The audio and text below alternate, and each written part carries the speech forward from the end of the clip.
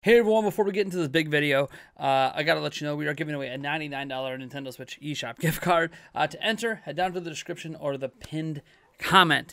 Uh, also, hey, you know what? I wanted to make this video. I've been sitting on some information for a little bit here because I wanted to wait until Zelda's 35th anniversary. I got my classic A Link to the Past uh, Zelda shirt on here and all that. My kind of messed up, sort of dented uh, Zelda hat here uh, on because it is time to talk about The Legend of Zelda uh, and the 35th anniversary because I have a buddy in the YouTube industry known as Game Over Jesse. Excellent YouTuber. He's on his road to 100,000 subscribers. He's over 95,000. If you would like to give him a subscription, if you would like to subscribe to his channel and check it all out, I'll put a link down below. Absolutely do. He's an amazing person. He has an inside source that uh, has proven to be correct. So, this source supposedly is um, it works with the marketing team and does some writing for Nintendo of America, and basically told them about when the direct, the last Nintendo Direct was going to happen, some of the stuff that was going to happen in that direct, and when it was going to be announced, at the exact time it was going to be announced, and all of it turned out to be right. He also said that there's going to be a separate Zelda Direct, which I don't think any of us are really that surprised about because, hello, uh, Mario's 35th had that happen. Zelda's 35th obviously is going to have that happen because they did something similar for the 20th, the 25th, and the 30th. Naturally, they're going to do something like that for the 35th. So just knowing that there's going to be a 35th anniversary direct is already in that of itself pretty big news from his source. But we actually got a bunch of stuff. So first off, let's recap things we've talked about already. The Wind Waker HD and Twilight Princess HD were basically leaked or just confirmed to be coming to Switch uh, through media members who have tossed out on Twitter.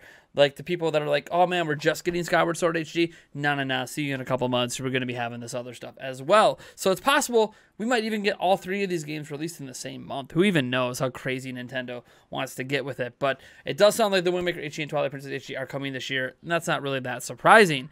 Uh, also, we've had that other rumor going on that Switch Pro is a thing that was supposed to come out later this year. It might not come out till next year because Breath of the Wild was supposed to come this year. But Breath of the Wild might be getting delayed to 2022. And that there's some sort of link between Switch Pro and Breath of the Wild where Nintendo wanted to team up the release of the Switch Pro with Breath of the Wild 2, which would make sense considering that's exactly what they did with the launch of Switch. So it would be kind of some poetic justice to do it again. But again, those are obviously not necessarily the same sources we're talking about here with Game Over Jesse, but those are things that are out there. Uh, for sure, the Twilight, the Twilight Princess HD and the Wind Waker HD thing, I think, is just expected at this point. We got Skyward Sword HD. Those games already exist and aren't here yet.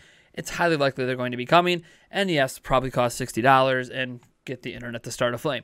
What we do know now about Skyward Sword HD, though, thanks to the eShop listing, when you go to pre-order the game, it does note that there is going to be amiibo functionality. Amiibo functionality did not exist in Skyward Sword back in 2011, so we aren't really sure what those features are going to be. Uh, there's been other things that have happened out here, and again, this isn't from his source. This is just stuff we factually know, uh, and I don't know. It, it, could be like an extra dungeon, like in Twilight Princess HD. So there could theoretically be extra content in Skyward Sword HD, even though it might be tied behind Amiibo. We'll see about that. But uh, here is some of the information we learned. First off, uh, for Zelda's 35th, uh, the source uh, leaked that Nintendo Direct. We talked about that. But the source, though, there's another Direct that is upcoming fairly soon, within a month or so, that specifically targets Zelda, aka a Zelda Direct.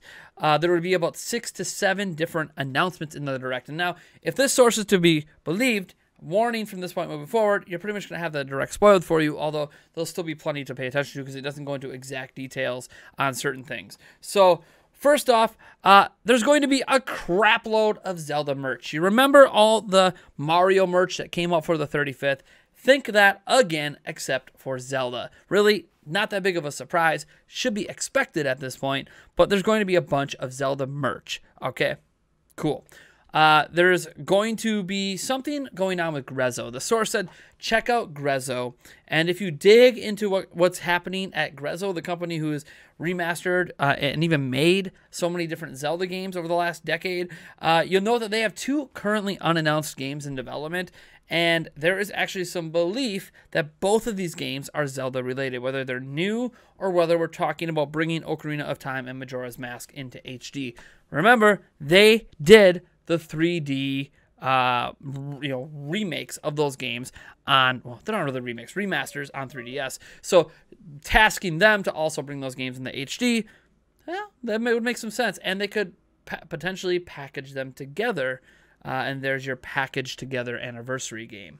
We'll see how that works. Uh, game over jesse actually puts out in some of his videos that there might be three games coming from grezzo but at the end of the day uh, something from Grezzo, Zelda related, is going to be announced during this thing. Okay, cool. What else do we know?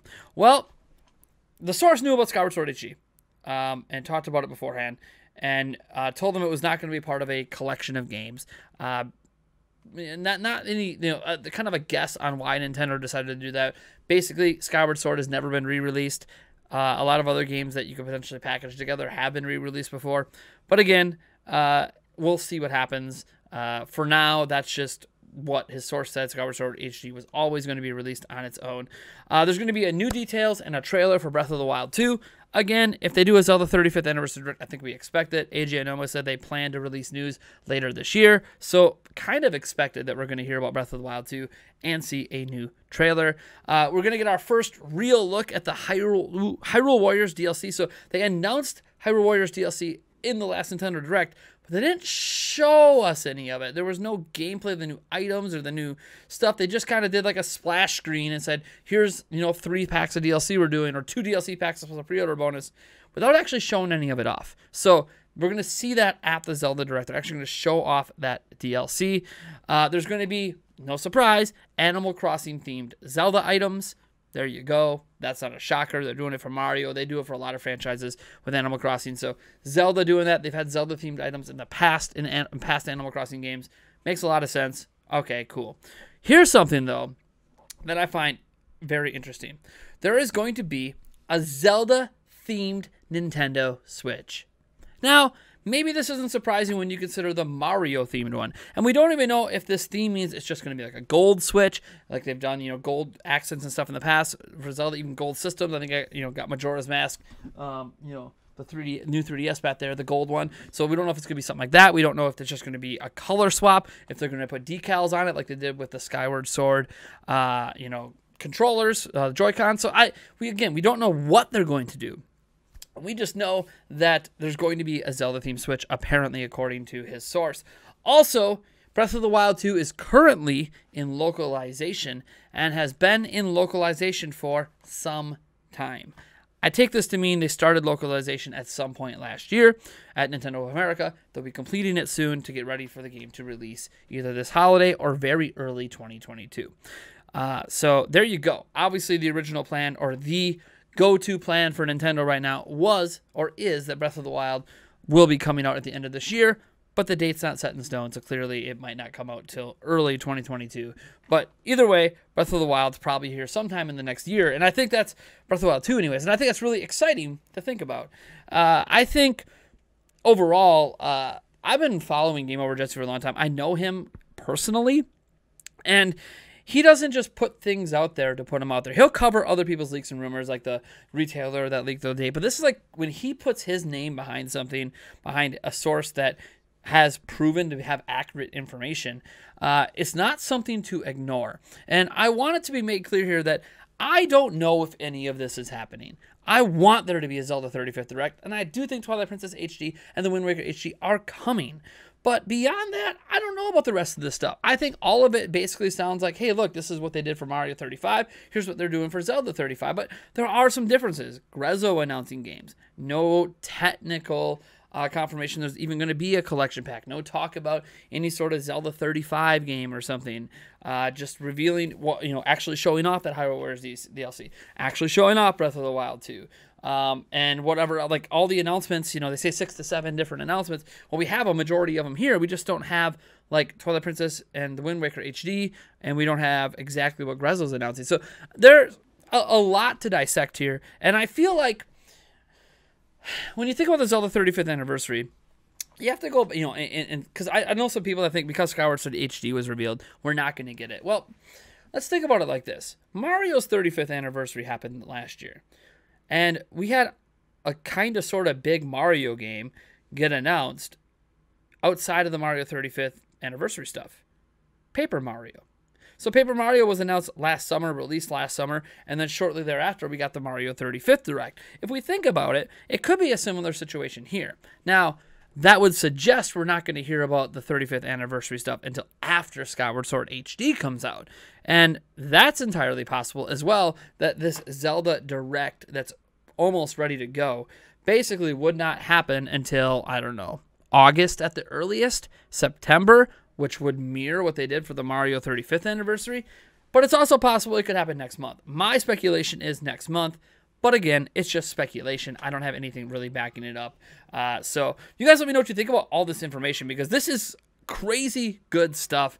Uh, shout out to my man Game Over Jesse. In fact, uh, we will be talking about Zelda's 35th and a whole bunch of Zelda goodness on episode two of the Nintendo Prime podcast, landing this upcoming Thursday on all of your favorite podcast uh, locations and right here on YouTube with a full on, nicely edited video version. And I'm happy to announce that Game Over Jesse is actually going to be our special guest on that episode. Uh, so be sure to tune in. I can't wait to talk about so much Zelda goodness. I am, whew, I'm thrilled, man. All right, folks.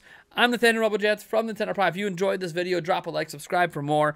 I love the Zelda series, so more Zelda news and more Zelda rumors is right up my alley. Catch you guys in the next video.